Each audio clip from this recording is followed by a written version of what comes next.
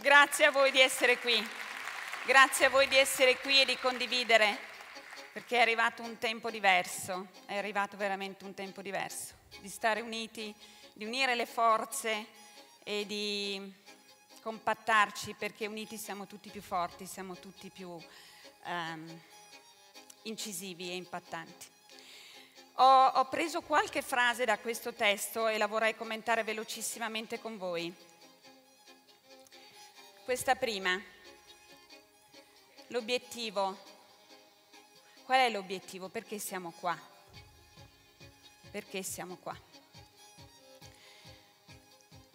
Una delle cose che dobbiamo, dobbiamo, è nostro dovere imparare è a conoscerci, perché se non ci conosciamo non possiamo amare noi stessi e non possiamo nemmeno offrire in dono l'amore agli altri. Quindi il nostro primo compito è conoscerci. Per cosa?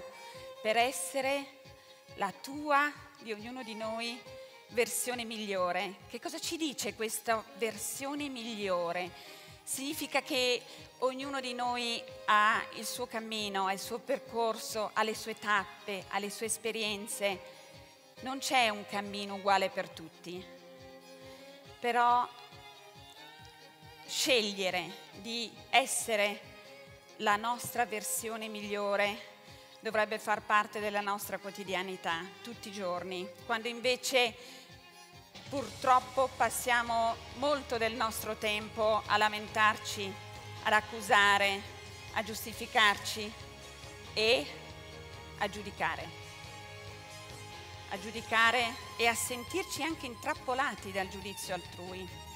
Cerchiamo il consenso, cerchiamo il riconoscimento, è quasi ossessivo.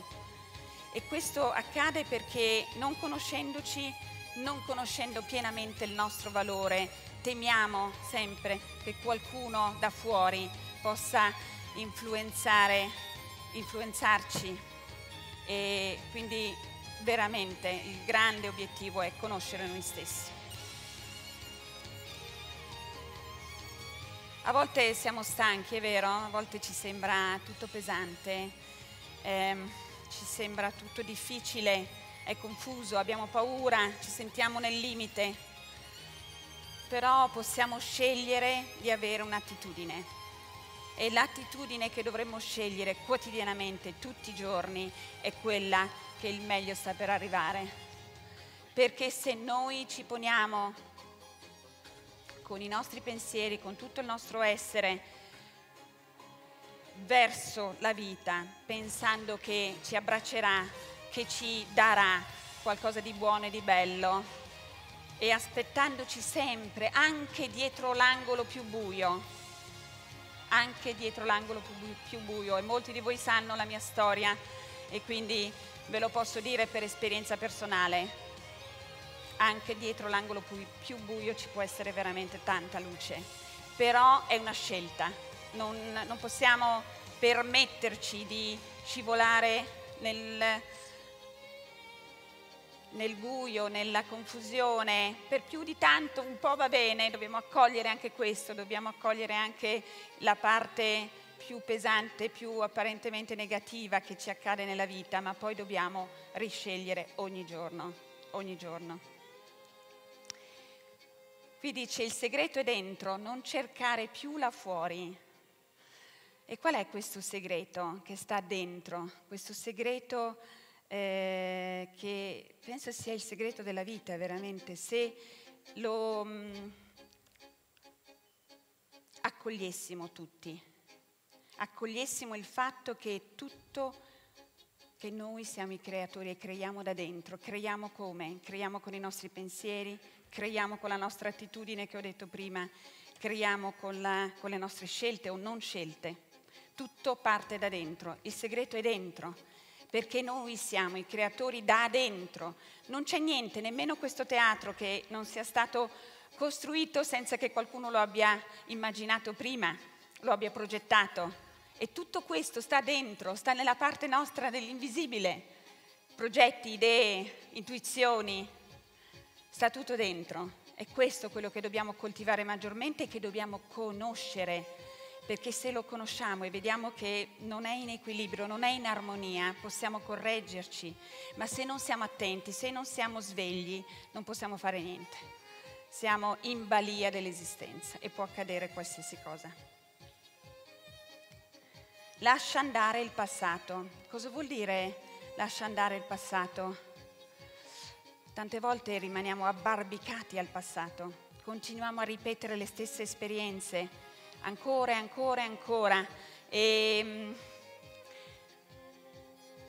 pensiamo che siano diverse perché incontriamo, le incontriamo con volti diversi, ma in realtà sono sempre la stessa cosa perché noi abbiamo delle lezioni da imparare e finché non le impariamo la vita ci ripropone continuamente lo stesso tipo di lezione. È tempo di ricordare chi sei, qual è la tua missione. Qual è la missione? Qual è il sogno dell'anima di ognuno di noi?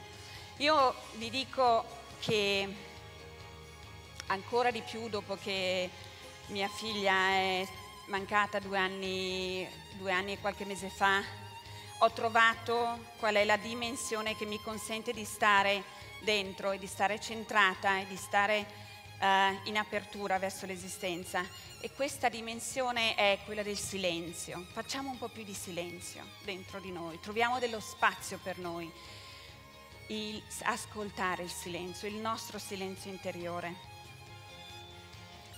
Um, meditazione, preghiera, ognuno poi scelga la strada che vuole, ma certamente per trovare la vera missione nella propria vita bisogna fare silenzio e ascoltarsi. È tempo di cambiare dentro di te per tornare a creare ciò che è bene per te e per tutti. L'ho anticipato prima, non possiamo pensare più di creare solo per noi stessi. Noi siamo qui con e a causa di tutto, di tutti. Quindi la bellezza che dobbiamo abbracciare della vita è di creare qualcosa che abbia un senso anche per gli altri. Io almeno questo è quello che perseguo e mi fa stare molto bene. Mi fa stare bene che voi siate qua, mi fa felice che voi siate qua perché tutto lo sforzo di un anno, da un anno all'altro, è per arrivare qui ad avere voi.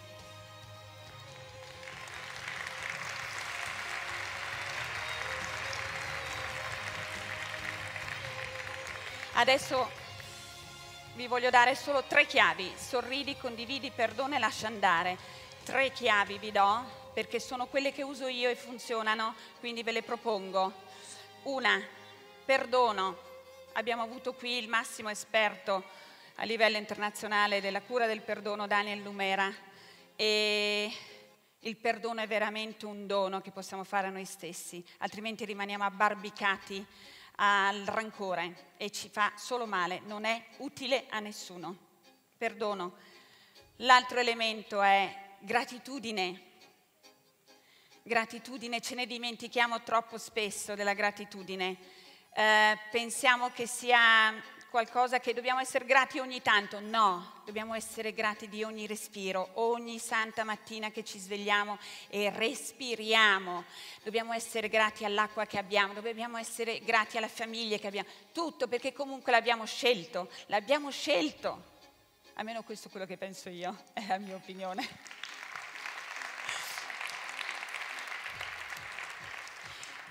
E la terza parola è scelta, scelta ogni giorno, ogni singolo giorno. Che pensieri voglio nutrire? Voglio stare all'inferno, che è già qui, e quindi alimentarmi di paura, di limite, di dubbio, di rancore, di rabbia, oppure voglio stare di qui in paradiso e alimentarmi di pensieri belli, di armonia, di pace, di amore la scelta, perdono, gratitudine, scelta e ve ne do un quarto, una quarta chiave. Eh, io la chiamo amorevole distacco. L'amorevole distacco è importantissimo. Uh, questo è quello che ho maturato dopo che mia figlia se n'è andata ancora di più. Noi siamo abituati a voler controllare tutto. Poi la vita mi ha dato un tale schiaffo in faccia che ho capito che non potevo veramente controllare niente. L'unica cosa che posso controllare e quello che cerco di fare tutti i giorni e che vi invito a fare è controllare i miei pensieri, controllare dove vanno i miei pensieri, dove si dirigono, da che parte li sto posizionando. Questo è, secondo me, ehm, è anche dare fiducia alla vita perché lascia andare, lascia andare che la vita ti verrà incontro. Fidati dell'esistenza. Io mi sto fidando tantissimo dell'esistenza.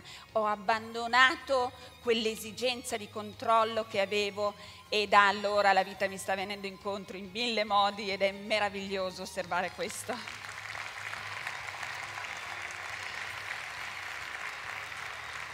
Ho l'ultima. Finisco con come è finito il, il video siamo uno, siamo uno con la vita, siamo uno tra di noi, siamo uno con la natura, siamo uno con l'esistenza tutta, non c'è separazione, non c'è nessuna divisione, è qualcosa che dobbiamo alimentare la coscienza che davvero siamo uno. E allora io adesso qui, da questo palco, faccio un appello, faccio un appello a tutti voi. E non vi chiedo di alzare la mano, non vi chiedo di alzarvi in piedi, perché è una scelta che se vorrete farete individualmente dentro di voi. Vi chiedo di prendervi la responsabilità qui, ora, adesso, di um, fare la vostra parte al meglio, perché se tu, tu, tu, tu fate la vostra parte al meglio, tutti insieme saremo veramente molto più forti, molto più impattanti e molto incisi- più incisivi per creare un mondo migliore che tutti sogniamo. Grazie.